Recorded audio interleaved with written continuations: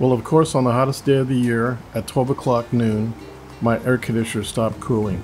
It seemed like everything was normal, it just wasn't blowing cold air. So I went outside and noticed my heat pump wasn't working, the fan wasn't going. So I watched a few YouTube videos over the years and got a really good hunch that my capacitor went out. So here's the model number of my air conditioning unit and the capacitor is right behind this panel. So the first thing you want to do is you want to turn off the power and I have a fuse block right up here. You're going to open up the door and pull on the fuse block. Or turn off the switch if you have a switch.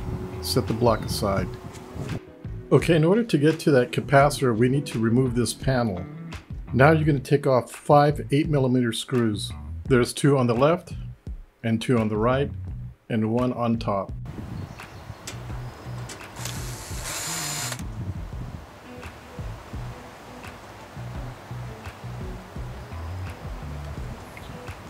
Once you have them all removed, go ahead and remove the panel.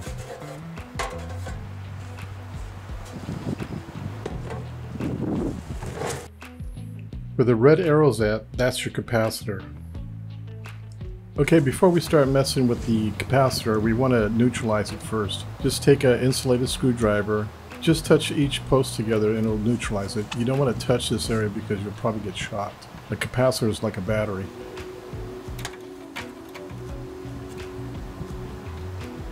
Once we're done with that,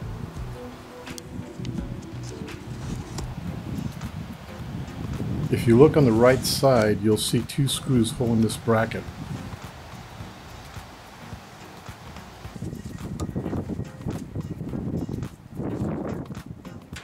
Remove the two screws.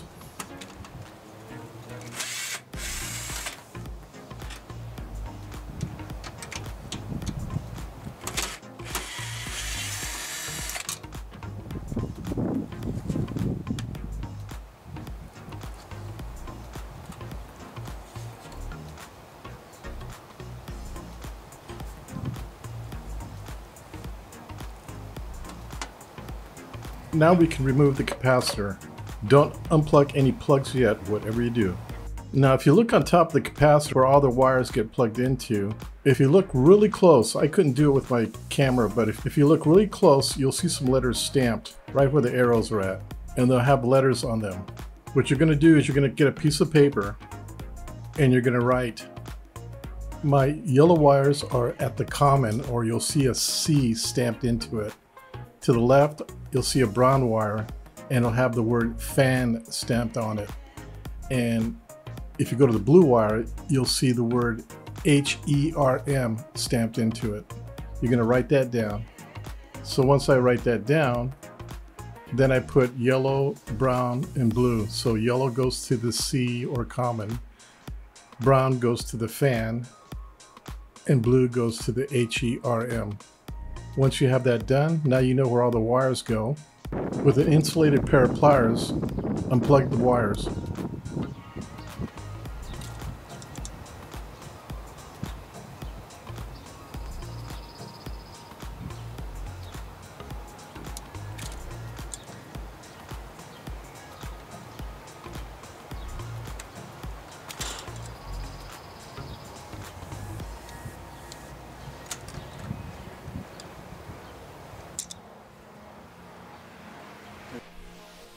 Well, I was pretty lucky. I found mine at a local hardware store.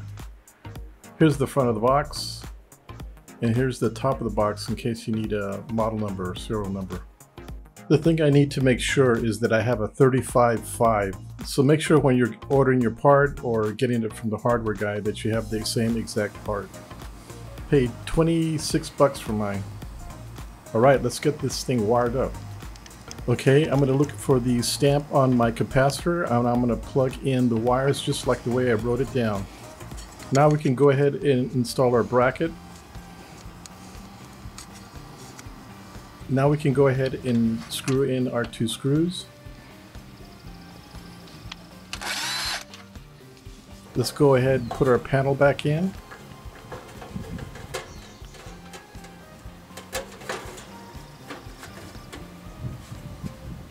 Put our screws all back in now.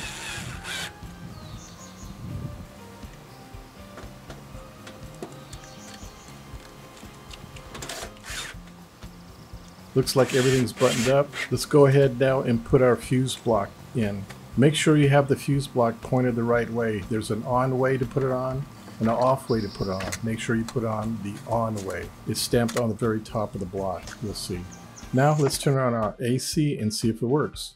Awesome, it's working. Wow, I saved myself a bunch of money. A neighbor down the street had his installed and it cost him 450 bucks to do just what I just showed you.